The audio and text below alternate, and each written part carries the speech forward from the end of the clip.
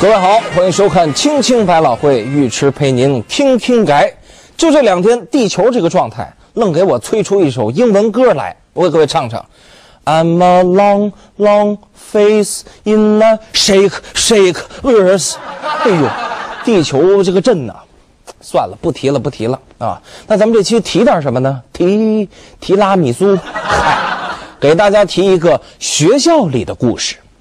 如果说世界是个班级，那美国就是当班长的富二代，考试还年年拿第一，但就是爱打架，家里边有黑社会背景，班里的同学一般都不敢惹他，就连班主任都敬他三分，因为班主任的房子都是班长家租给他的。中国是团支书，各方面进步很大，学习成绩和家庭条件越来越好，在班上说话也比较有分量。而班长最忠实的跟班副班长日本，上个学期期末考试成绩下滑到第三名，排在团支书之后，还没来得及奋起直追，家里又出事了，地震，然后水房漏水，电线漏电，最近长期请假在家收拾狼藉呢。当然，各位班干部本着不能让任何同学耽误学习的原则，课余时间帮着日本同学补课温习，救灾扑火。您瞧，多团结的班级呀、不过咱讲话，福无双至，他祸不单行。班上有几个家住北非社区一带的同学，学习成绩嘛，那一直不怎么地。最近呢，还接连的请病假。先是家庭条件不怎么样的突尼斯、埃及，后来连家里脚比有钱的这个利比亚同学，因为家里的田地闹了虫灾，请假回家灭虫去了。不过呀，这个特立独行的利比亚同学平时群众基础不好，和几个班干部，呃，什么阿拉伯邻居的关系很一般，容易被孤立啊。尤其是和班长，他结过梁子。在一九八八年那场洛克比空难，死了那么些个美国人，摆明是不给班长面子嘛。所以啊，班主任联合国很快就听从了各位班干部的建议，宣布啊，利比亚同学灭虫不利，还殃及了庄稼啊，平民死那么多嘛。为了保护庄稼，要禁止利比亚同学使用飞机撒杀虫药啊，禁飞了。利比亚同学本来已经是胜利在望，就还差一块叫班加西的地皮上撒完药，他就 OK 了。他认为啊，这个灭虫子的时候烧上点庄稼也是难免的嘛。但是天算他不如人算呀，班上有几个同学早就策划着要收拾收拾这个利比亚，为首的是英国。因为曾经啊当过这个日不落大地主嘛，英国是获选地理课代表。紧接着是和利比亚同属地中海学习小组的法国，呃，普通学生一名了，家里是卖驴肉火烧的。为什么卖驴肉火烧呢？因为你看他们家卖的那个叫 LV 嘛，用拼音拼就是乐于驴啊，奢侈品驴肉的啊。这哥俩呀、一个是当机长，一个当副驾驶，在火同上班上几个关系不错的意大利啊、加拿大呀，就是违反班主任的规定，打破禁飞令，开着飞机啊，就跑到利比亚同学家里边儿，他喷杀虫水去。要说还是班长鸡贼啊，听老师的话，绝不飞过去，是站在隔壁往利比亚他们家扔闪光雷啊！你说这一会儿放炮，一会儿撒药。据利比亚同学自己说。不但把自个儿啊炸得灰头土脸，田里的庄稼死的比以前还多呢。老师说了不让飞，你们还飞，好，那俺也不客气了。老子上世纪六九年就就上一年级了，留级这么多年了啊，还收拾不了你们几个小朋友。最后这家事儿就变成了天下事，一场内部火拼变成了对外抗战。这形势转变之快，让人眼花缭乱，剧情高低起伏之忐忑，犹如过山车呀。有人问：这美国作为班长啊，是吧？一向就是摆老大的 pose 嘛，呃，这次怎么不积极带头呢？哎，这虽说利比亚炸过美国的客机，但是九幺幺之后啊，利比亚是第一个消灭了基地组织的基地的啊。这个有首歌嘛，朋友多了路好走，多一个朋友少俩敌人，何乐不为呢？而且没老大，他能闲着吗？一边说要把这个指挥棒交给北约，一边呢又加派了四千兵力，这叫什么境界呀？轻轻的，我想来就来，正如你猜不出我何时离开。我挥挥衣袖，绝不留下一片云彩。倒是法国和利比亚这俩同学之间有一段恩怨，三年前，利比亚和法国关系还挺好的啊。萨科齐信誓旦旦地说：“老卡，您绝不是希特勒啊！”老卡特高兴，给了萨科齐一大笔钱，竞选总统用的啊，赞助费。三年之后，班上几个同学，你看这合伙欺负利比亚的时候，冲在第一个的还是他法国，真是不愧这个不负这个法国的一个俗语，变脸比脱裤子还快，是法国的吗？嗯，哎呀，这萨科齐啊，可谓是川剧绝活变脸的海外唯一继承人，变形金刚在地球独家指定的转世灵童啊！卡扎菲表示很失望，我的朋友萨科齐一定是疯了。No No No，老卡，您判断出问题了。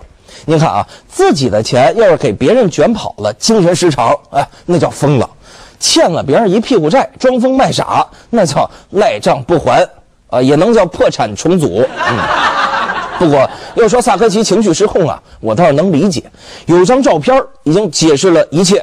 哎，各位看，据说这是今年二月份卡扎菲的三个儿子叫萨阿迪接受法新社采访的画面。各位，这这个重点啊，是注意他身后这个照片这个照片上有个不太穿穿衣服的美女，正是萨科齐的老婆布吕尼，就好拍这个啊。哎呀，又是一个冲这个什么怎么讲，冲冠一怒为红颜的主吗？可是这全世界的互联网上好像都有这照片各位。收好自己的电脑啊！据可靠情报，萨科齐下一个轰炸的目标可能是三 w 点 com。玩笑话啊！那为什么法国这个态度三百六十度就转弯了呢？倒是他一直想做地中海的舵主啊，但利比亚不从啊，让法国特郁闷。呃，他特别着急，就想把这老卡弄下去，扶植一个听话的小弟弟。而且啊，利比亚家里那个仓库好多好玩意儿，石油啊、军火呀，以后趁火打劫也方便。总之吧，急不可待抄着家伙往上冲的这几个国家，各有各的小九九，禁飞协议又偏偏飞，挽救苍生又炸平民。利比亚之事，这个总结就两个字儿：拧巴。事儿办的拧巴，美俄英法他们自己家里的意见还拧巴着呢。还有人问。这卡扎菲这么一咋呼，这这个不会拧巴成了第二个萨达姆吧？比起老萨，这卡扎菲啊，那是长江后浪推前浪了，跟西方斗智斗勇这么多年，可不是等闲之辈。从他写给这个萨科齐、卡梅伦和潘基文的这个信，就可以领教这个铁腕狂人的口气。你们没权利干涉我们的家务事儿，利比亚不是你们的，是是是全体利比亚人民的。这话从他嘴里说出来，怎么这么拧巴呢？行，说点更拧巴的吧。除了在政坛叱咤风云，卡扎菲特的婚姻生活也是异常传奇，简直就是爱情大片尤其是跟现任老婆叫萨菲亚的爱情，堪称是惊心动魄。萨菲亚什么人？当年的这这这敌人，当年是要刺杀卡扎菲的杀手。卡扎菲当时是在人群的簇拥下就走过街头。萨菲亚是躲在一个黑暗的角落里，举起了黑黑的枪管，就瞄准了卡扎菲的脑袋。就在扣动扳机的那一刹那，这卡扎菲啊，鬼使神差的停下了脚步，扭过头，就直直的望向了人群中的萨菲亚。此时，这个世界一切都变得模糊了，似乎只剩下他们两个人。只是因为在人群中多看了你一眼，女人手中的枪霎时落地，从此疯狂的爱上了他。只是因为在人群中多看了你一眼，再也没能忘掉你容颜。宁愿相信我。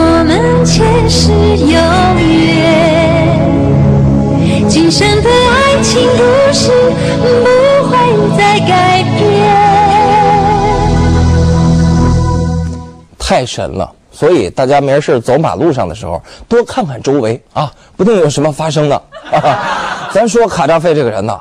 挺神的，二十七岁就推翻了王朝，夺取政权。他那种气场强大、特立独行的性格，跟他的成长背景很有关系。出生贫寒，穷孩子在沙漠里长大的，而且说是游牧民族，四处呃浪荡啊。这个浪子啊，他就爱住帐篷，生活简朴。当然了，浪子都少不了爱美女嘛。大概是受现任老婆的启发，老卡对娘子军是情有独钟的。各位都听说了，出国访问必带着几十个美女保镖，都是死心塌地的效忠飞哥的，帮他挡子弹啊，怕货车呀嘛，扎铁刀，什么事儿都干。此外啊，卡扎菲还有一支很能打的部队，叫女子突击队，而且都是打前锋的。在和反对派的多次激战之中，这支娘子军那是主力部队，功不可没。估计西方女权人士对卡扎菲印象应该不错哟。您在提高非洲女性地位方面做出了积极而有效的成绩。利比亚呀，它这个国家是一个部落国家，老百姓得先忠于部族啊，就是这一族的，再忠于部落，最后才是忠于国家。这咱们很难理解啊！您想，咱国家说国八条，房子限购，您说我不搭理你这茬我就听我们居委会王大妈的。这不胡闹吗？长此以往，国将不国。但是卡扎菲敢在国内动武，就是因为有一批谁也不在乎，只听居委会呃卡扎菲大妈的这帮大兵。尤其是当那个多国联军入侵之后，那些支持飞鹤的人真是视死如归呀！哎呀，跑到他住的这个所谓的帐篷啊，阿奇奇亚兵营守夜，要做人肉盾牌。但是讲良心话，我觉得啊，卡扎菲这个名字嗯不好。咔，炸飞了！这个被叛军炸完，再被联军炸，他这个命再硬，他也有被咔炸飞的那天嘛啊！但其实咱看看人家这英文名字，其实是这么写的，这个啊，呃叫嘎达飞，还嘎达汤呢，就让嘎达再飞一会儿吧。甭管是咔炸飞，还是让嘎达飞，黎民百姓才应该是真正的宝贝嘎达。最近网上流行这么喊话。无辜的利比亚百姓，你伤不起呀？有没有？谁胜谁负？谁得利？谁出局？谁心怀鬼胎？谁暗度陈仓？我尉迟不在乎，老百姓就图个太平日子。广告之后见。